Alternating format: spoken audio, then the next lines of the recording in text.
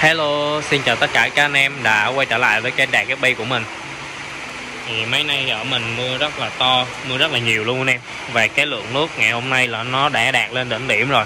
Nó cao hơn ờ, những cái lúc trước mà mình quay cho anh em xem rất là nhiều ha. Đó, Như anh em thấy cái mé lưới B40 ở phía bên này nó đã bị lúc hết. Thì chỉ còn một dãy lưới B40 bên kia. Và cái vợt ngày hôm trước mình treo ở đây á là nó rất là cao treo rất là cao trên cái cây tre này mà nay cái vợt nó gần lúc hết rồi. À. còn cái ghe của mình á, là nó cũng để bị à, ngập nước luôn rồi nè. Mưa rất là dữ. Thì uh, cái video ngày hôm nay mình sẽ uh, dẫn anh em đi uh, thăm cái uh, cá bể màu của mình trong cái uh, mùa mưa bão này ha. Và uh, sẽ chia sẻ cho anh em những cái kinh nghiệm để mà nuôi cá bảy màu thì nói chung trong cái mùa mưa bão này thì ờ, chúng ta cho cá nó ăn, hạn chế cho ăn vừa đủ. Nước thì ờ, đừng có để nó quá dơ. Nếu mà có cặn hồ cá nhiều quá thì chúng ta nên hút bớt cặn đi. Và ờ, thay cho một xíu nước mới vô cho cá nha. Thì con rét này mình bán bớt rồi cũng còn được vài cặp thôi. Cái này loại tiễn nha. Vây BD to. Này Lutobat nè. Bên này là máy Lutobat máy thì uh, rồng đỏ này cũng còn được ờ, vài con trống ở dưới đây anh em. Cái hồ này nè còn được vài con trống thôi. Không có nhiều. Ở bên này cũng còn được ờ, vài con trống ha. Như là máy thì uh, trong cái mùa mưa bão thì anh em uh, chăm cá cẩn thận xíu đừng có cho nó ăn thức ăn dư thừa nhiều quá thì uh, uh, sẽ làm ảnh hưởng đến cái sức khỏe của con cá nha. Ở đây thì mình có một con cá mái mang bầu rất là to luôn và mình nhớ là những cái câu hỏi mà lúc trước anh em hay hỏi mình đó là à, anh ơi cá em nó mang bầu to quá rồi giờ mình làm sao cho nó đẻ đây anh? Đó. anh em thấy cái bầu rất là to luôn nha. Thì à, đối với những con cá bầu to này á thì trên mạng có rất là nhiều người bày là chúng ta phải ờ, tách cá nó que bên nước mới để cho nó lại môi trường nó đẻ này nọ vân vân vân thì uh, mình thấy những cái cách đó là nó không có hiệu quả nha. Và thậm chí nó sẽ làm cho con cá mẹ của chúng ta nó bị sốc nước. Và nó chết. Có nghĩa là nó chết luôn cá mẹ và cá con. Hoặc là nó lại môi trường thì nó sẽ đẻ ra những con cá con ờ, bị đẻ non nha. Thì những con cá đó sức đề kháng nó rất là yếu. Nó cũng sẽ chết, chết dần chết mòn. Nó nó là khi mà cá nó mang bầu to á chúng ta muốn nó đẻ tỷ lệ thành công cao á thì mình nên tách nó ra. Thì mấy bữa là mình ờ, nuôi nó ở dưới trong cái thùng giống này. Ở trong đây là bốn cặp mình thả thưa thôi mình không có thả nhiều nha. Để cho con cá nó phát triển tốt nhất. Thì uh, khi mà nó mang bầu to mình sẽ đưa nó lên trên cái thùng kem này. Đó để cho nó yên tĩnh. Cái thứ nhất là nó yên tĩnh cái thứ hai là nó sẽ không có bị uh, tranh giành thức ăn với những con cá khác nó sẽ đủ chất để nuôi những cái con các con ở trong bụng nó. Rồi tiếp theo là mình sẽ sử dụng sử dụng thêm là một cái lồng đẻ hoặc là sử dụng thêm rong để mà có chỗ cho con cá con khi mà nó vừa đẻ ra nó sẽ à, ẩn nấp khỏi con cá mẹ để cho con cá mẹ nó không có à, ăn lại những con cá con nha. Rồi mấy con chim này nó kêu như cái rừng vậy tới giờ nó rồi anh em ơi thì uh, nói chung là cá đẻ thì uh, chúng ta làm vậy thôi chứ còn đừng có làm theo những cái cách khác. Thì uh, cái cách mà mà tách cá qua nước mới là mình thấy là cái cách đó là hại lắm á. Nha nên là anh em có cá bầu to thì cứ làm như mình chứ uh, còn hỏi mình làm sao cho nó đẻ thì mình không có biết trả lời như thế nào nha. Mình chỉ biết là làm cho con cá nó nó, nó đẻ tốt nhất và an toàn nhất thôi chứ mình không có biết cách làm cho nó đẻ nhanh rồi ok. Nó tụi này dọc rất là đã nha. Anh em thấy nước trong không? Nhưng mà cặn ở dưới là xung quanh rất là nhiều nè. Bây giờ mình sẽ nói luôn cái lợi của ốc táo thì anh em hãy nhìn xem.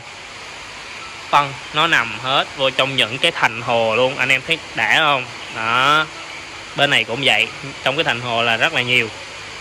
Thì tại sao mà cái phân mình nuôi nó dồn vô thành hồ? Khi mà chúng ta hút cặn thì nó rất là dễ. Mình chỉ cần lấy cái ống mình kê cho trong cái ờ, góc đó. Mình kéo qua đây, mình rè quanh bốn cái góc hồ này là cái hồ của chúng ta đã sạch phân. Đó, rất là hay. Thì đây là cái công dụng của những con ốc táo. Thì ờ, ốc táo thì nó sẽ bò quanh quẩn khắp cái hồ để mà nó ăn. Nó ăn phân cá, nó dọn thức ăn dư thừa. Thì khi mà nó ăn no xong rồi á, là nó sẽ ngôi lên trên cái mặt nước để nó thở. Và nó sẽ bám lên dọc trên những cái thành hồ này và nó thở trong cái thời gian mà nó thở nó nghỉ ngơi anh em là nó sẽ ị cái phân của nó xuống. Thấy không? Và nó sẽ ị cái phân của nó xuống. Và cái phân của nó là sát ở trong cái thành hồ. Hết luôn anh em thấy rất là đã. Và cái phân ốc này là nó nặng hơn phân cá. Khi mà con cá nó bơi qua thì sẽ không làm cho cái phân ốc nó bị dạt ra dạt ra dạt ra. Nói chung là nó không sẽ không làm cho cái phân ốc nó tùm lum trong cái hồ của chúng ta. Mà phân ốc nó chìm nó nó chìm xuống nó nặng hơn nó chìm xuống thì nó sẽ được à, vô trong những cái góc này rất là gọn gàng. Thì chúng ta chỉ cần rơ cái ống que một vòng thôi là cái hồ cá của chúng ta sạch. Đó, và chúng ta chăm lại nước thôi. Đây là cái cái mà lợi ích của chúng ta nuôi ốc táo ha. Không những giúp hồ của chúng ta ốc nó dọn cái hồ của chúng ta sạch hơn mà nó còn giúp chúng ta vệ sinh hồ nhanh hơn nữa. Đây là một cái bầy à, phun rác của mình nè. Bài này cũng sắp lên kệ rồi anh em thấy cái màu của nó không? Màu nó đỏ huyết luôn, nhìn rất là đẻ nhìn xa cứ tưởng là wheel red không ấy. Nhưng mà nó là albino full red nha. Bài này thì đang lên màu nè.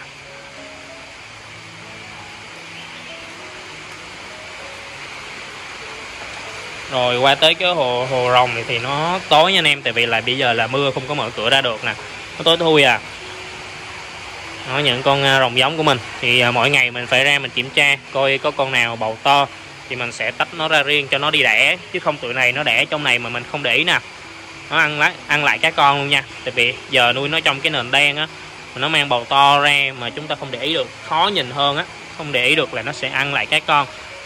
Thì uh, trong cái hồi giống này hôm qua có một con nó mới đẻ nha. Có một con mới đẻ trên này.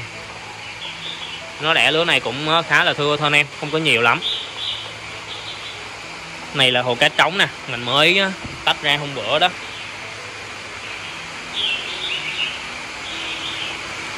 Rồi để giờ mình sẽ qua bên cái dãy coi nha. Dãy coi là hôm qua mình ờ, thấy có một con cá nó đẻ lỡ dở rồi. Nó để lỡ dở. À con bên kia kìa. Để mình qua bên đó đi. Lấy cái vợt qua bên đó vớt thả nó xuống luôn. Tại vì nó đẻ xong thì mình sẽ thả nó xuống lại thì uh, có những anh em kỹ hơn mình là cá đẻ xong là dưỡng ờ, ba bốn ngày 5 ngày gì đó. Nhưng mà mình thấy là mấy tuổi cá mái này nó khá là trâu á nên là nó đẻ xong khoảng ờ, qua ngày mai nó đẻ ngày hôm qua đến qua ngày mai á là mình sẽ thả nó về lại trong cái hồ uh, hồ cá cũ của nó nha. Đó, mình cũng sử dụng lồng đẻ với lại rong. Lồng đẻ là giúp cá nó không ăn lại à, cá con giúp cá mẹ không ăn lại cá con và cái rong thì nó sẽ làm cho con cá nó có cái cảm giác giống như là nó đang được sống ở trong cái hồ cũ của nó. Là hồ cũ của nó cũng có rong nè. Đó. Rồi nó sẽ được ờ, có cái cảm giác thoải mái tự nhiên hơn á. Nó không sẽ không có bị stress nha. Giờ mình sẽ vớt nó xuống.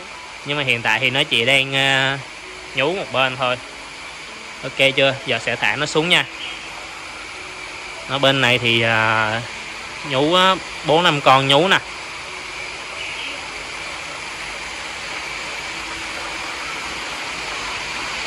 Rồi, thì cái, còn cái hồ này thì à, chúng ta sẽ mở cái lồng đẻ ra. Mở lồng đẻ ra để ra một góc ha. Rồi, cái cá con mới đẻ này thì chúng ta cho nó ăn atami hay là bo bo gì đó để giúp con cá của chúng ta nó nó mau lớn hơn. Cái ốc táo này thì hôm bữa là là cái hồ đó mình vớt hết cá đi rồi. Nay mình sẽ thả nó qua bên cái hồ nào đó để cho nó, có phân cá nó ăn, nó sống nha anh em chứ con ốc táo này mà nó không có phân cá, không có thức ăn dư thừa cho nó ăn á, thì một thời gian nó sẽ chết nha. Thả vô hồ nào để ta vì hồ nào nó cũng có ốc rồi. Thôi thả vô cái hồ xanh này nha, hồ tảo xanh này. Đấy.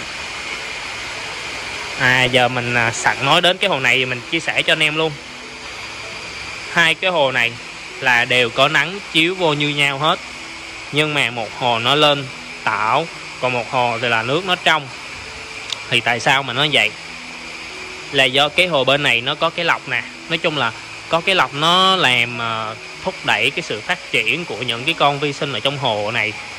Với lại ờ, cái bông lọc á, khi mà nó lên cái tảo cái tảo này nè, khi mà nó được lọc qua cái bông lọc á, thì nó sẽ động những cái cặn tảo ở trong cái bông lọc nha, và nó sẽ thải ra lại cái nước của chúng ta cho nước chúng ta nó trong hơn những cái ờ, nước tảo này chúng ta có thể ờ, nếu mà mà chúng ta đang để ngoài nắng đúng không? Mà mình đem vô trong nhà một ngày á, là sẽ thấy những cái tảo nó động xuống dưới cái đáy hồ. Đó là những cái tảo này là nó có thể tách ra được khỏi nước á. Tại vì nếu mà sử dụng lọc là sẽ thấy sẽ thấy được cái sự ờ, khác biệt của nó ha. Nên những anh em nuôi cá ngoài trời mà muốn nước trong thì có thể là sử dụng thêm lọc. À hôm bữa thì cũng có mấy anh em hỏi tiger của mình. Mà tiger của mình thì uh, còn tơ nha anh em. Thì chuẩn bị cái size này mình mình form nó thêm thời gian nữa là mình sẽ ghép đẻ nó. Bên này là một cái hồ trống và bên này sẽ là một cái hồ máy. Là mình ghép đẻ cái này xong là mai mốt là nó sẽ chảy dài uh, tiger ra ngoài kia luôn nha. Đó. Ok bây giờ mình sẽ qua bên cái khu uh, nuôi cá cũ của mình đi anh em thì bên đó nay mưa to rồi à, dột nước dột đồ cũng rất là ghê. Mình sẽ qua bên đó để mà mình à, kiểm tra xem thử tình hình nó như thế nào nha. Rồi anh em đợi mình xíu mình sẽ chắc anh em qua bên kia. Rồi đây là bên khu nuôi cá cũ của mình nha anh em. Thì mình mới vừa bước qua tới nơi là mình thấy một cái tầng hồ màu đen đầu tiên này nè. Đó là bốn cái khay này nó đều bị ngập nước vô và nó tràn nước lên mấp mé mấp mé trên thành hồ này luôn. Thì mình mới múc nước ra xong đây. Thì à, do là cái máy tôn ở trên này mưa nó xuống nhiều quá, bắt đầu cái tôn nó nặng anh em, nó đè xuống luôn. Nó nghiêng vô trong cái hồ này mà nó chảy hết chảy hết nước vô trong cái hồ này luôn. Mình mới chỉnh lại cái à, tôn ngay chỗ đó nha. Thì à, bên khu nuôi cá cũ của mình nó khá là là xuống cấp rồi tại vì cái này là trước là một cái chuồng bò thì sau này mình mới sửa là để mà mình nuôi cá nha. Anh em hãy nhìn nước nó ngập nè. Anh em thấy dễ sợ không? Đó nước này ngập cao lắm. Nó ngập ờ, gần lúc cái cây tre gác ngang đó luôn á. Nó mất mé mất mé rồi. Anh em hãy nhìn xem ờ, cái quan cảnh phía sau nha bạn. Đó, sau mưa bão là nó tả tơi hết nha. Nước ngập rất là sâu luôn. Giờ mà bước xuống là chắc là tới ngực đó ở bên này thì ờ, tối ngày hôm qua mẹ mình có che mấy cái hồ ờ, sát trong cái thành này lại chứ không là nước nó sẽ tràn ra. Thì nay đang mưa nên là mình cũng không có mở ra cho anh em xem được ha. Mấy con máy HBRS này anh em mưa thì mưa chứ vẫn rất là sung và khỏe nha. Đó. HBRS còn bên này là trống nè. Bên này trống.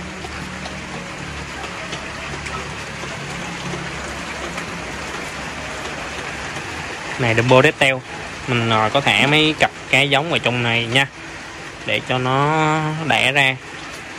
Thì ờ, chuẩn bị mình sẽ lựa thêm một ít cá Dumbo Retail giống ở dưới hai cái bạc này, một bạc trống, một bạc mái. Mình cho lên ờ, thêm mấy cái khay ở trên này nha, bổ sung lên những cái cá giống để mà nó đẻ ra. Ở bên này là Dumbo tơ nè anh em. Này cá tơ thì à, trong này là cá mái không nha? Tại vì cá trống là mình để tách mình cho nó xuống dưới dưới cái bạc rồi. Vậy dưới này thì nó lớn hơn xíu. Đó, cá rất là đã luôn.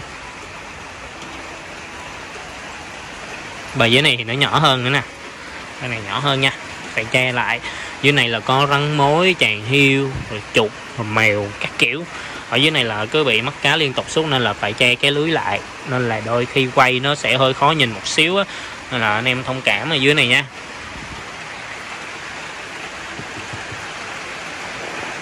Đây là cái bài à, trống coi sọt anh em. Nhìn nó lùng lùng lùng lùng có đủng mà.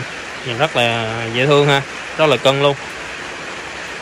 Đó, coi sọt rất là đã. Thì uh, mấy cái hồ cá muống này nó bị uh, ngập nước. Nó bị uh, nhỏ nước chứ nó bị nhỏ nước dột trên mấy tôn xuống á nên là mẹ mình ờ, đặt cái thao vô trong này nha, để mà cho nó hứng bớt nước mưa lại, có gì mà đem ra ngoài mình đổ. Chứ nước mưa xuống tụi cá muốn nhiều quá thì cũng tội tụi nó. Đó, anh em thấy nó kìa. Đó, anh em thấy nó bơi cảm giác không? Nay thiếu sáng nên quay nó hơi mờ nha anh em. Chứ còn quay mà ban ngày thì nó sẽ rất rất rất là đã luôn. Nó mà quay mà buổi sáng mà có nắng á anh em, rất là đã nha. Rồi anh em thấy nó đã không?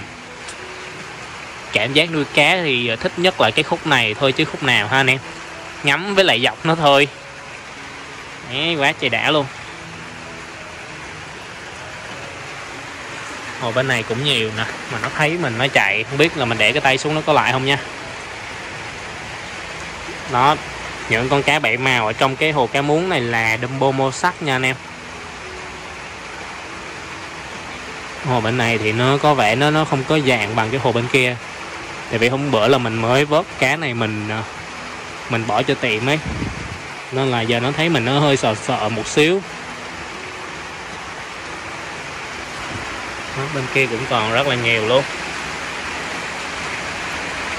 Chó quá bên này à, ngược sáng rồi anh em ơi bên đó ngược sáng này chó quá. Mình sẽ đi quay ờ, xuống phía dưới này cho anh em xem ha. À, đây là bài à, Dumbo màu sắc nè. Thì trong đây đa số là máy còn những con cá trống nó chưa lên màu hết thì mình cũng chưa có tách ra được ha. Thì cá trống mình sẽ tách qua cái bạc của cá muống hồi nãy đó nè.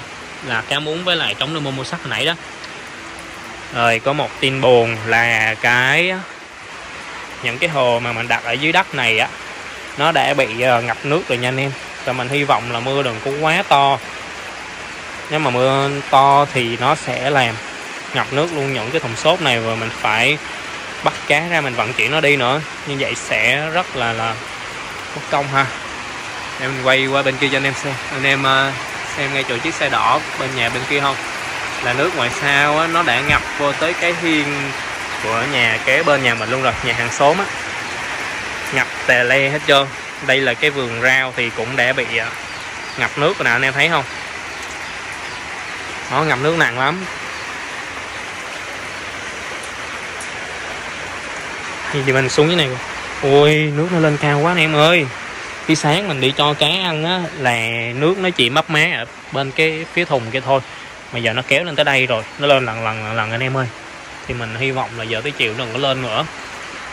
Đứng dưới đây nhìn ra như một cái sông luôn á anh em nhìn nè. Đó nhìn nước nó sát rạc mình luôn á. Mấy con gà mình nữa. Nếu mà ngập cao quá là mấy con gà mình cũng không có chỗ để cho nó ở luôn nha. Rồi mùa mưa miền trung này rất là thảm không anh em ơi đó mấy con gà đứng nè, nước mắc mé cái chân nó rồi nè, anh em. Rồi ơi. Nói chung là ngập nước liên tục như vậy thì mẹ mình định cái định là năm sau sẽ nuôi vịt, chứ không nuôi gà nữa. Tại vì vịt thì ờ, có nước thì ngập vô nó sẽ bơi ha, nó sẽ bơi được. Là chỉ là nuôi để lấy trứng ăn thôi, chứ không có ăn thịt ha.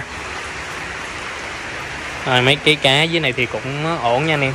Mình cũng muốn loại qua bên kia để mình quay hồ coi sọt cho anh em xem lắm mà nước nó ngập này. Đấy như là chống coi sọt nha. Ờ, hồ kế bên là máy mình có tách cống máy ra riêng đó. Rồi cái hồ mà tội nhất ngày hôm nay là hồ à, cá muống này nha anh em. Anh em thấy không? Nước mưa bao nhiêu nước mưa dồn chảy hết vô trong hồ đó luôn á. Này là lưu tập dân nè cống lưu tập dân bên này là máy lưu tập dân nha. Máy này nhiều quá thì chắc mình cũng sẽ bán tiểu sinh bớt những con máy này nè. Nó bán thủy sinh bớt để cho nó nó nó, nó giảm số lượng xuống. Đây là coi sọt. Thì quay ở đây thiếu sáng nhiều quá thiếu ánh sáng quá anh em. Nên là nó bị à, nhiễu hạt này nó mờ mờ mờ. Dây mưa nó dột lên đầu. Đây những con cá muốn của mình thì nó cũng để trốn vô trong những cái lái súng bớt rồi đó anh em. Không biết keo nó có lại không nữa. Tội chưa anh em ơi, mưa. Nhúng cái tay xuống lạnh ngắt luôn mà tụi cá nó ở dưới đó. Khèo nó vẫn ra nha. Tội. Này, cái bông súng này mới mới nở ra chiều hôm qua hả? Mới nở được chiều hôm qua thì sau một cơn mưa thì nó đã nằm cái bẹp xuống dưới luôn rồi. Mưa to quá mày cũng may là mình đã làm à, bữa trước mình kịp thời mình làm một cái thêm một cái ống xả tràn ở trên đó. Ống à, to hơn nằm ở bên trái nè. Thì hôm bữa là là bị tràn cá ở cái bạc này ra ngoài sau nha. Thì uh, nước nó lên nhiều quá cái lỗ nhỏ bên kia nó không có thoát nước ra hết được á.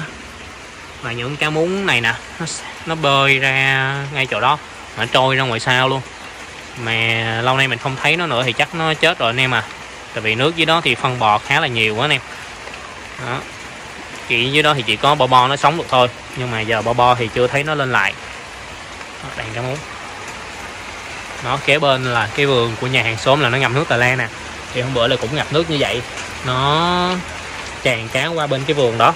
Rồi từ cái vườn đó nó trôi kia và nó trôi ra ngoài sau như mình luôn nha. Rồi ok. Cái video đến đây nó cũng khá là dài rồi anh em. Mình là đi qua bên cái khu nuôi cá cũ của mình thì ờ, bị ướt tài lê hết trơn mưa nó dột nhiều quá. Rồi bây giờ thì mình sẽ tranh thủ đi lựa thêm một ít cá giống của những loại cá Dumbo nè với lại HB Lu, HB Red mình uh, cho nó lên ờ, trên cái khay nhựa để mà mình uh, ép đẻ. Mình nuôi cá giống ở trên đó ha. Rồi uh, cảm ơn tất cả các anh em đã xem hết video của mình. Anh em nhớ đăng ký kênh để mà theo dõi những video sau nha nếu anh em có cần những cái phụ kiện như là lọc elip hay là lồng đẻ, hay là cá ở bên trại của mình đó thì có thể là à, ủng hộ cho mình ha. Mình à, rất là cảm ơn tất cả các anh em. Thì à, giờ mình sẽ tắt video đây để mà đi làm việc nữa.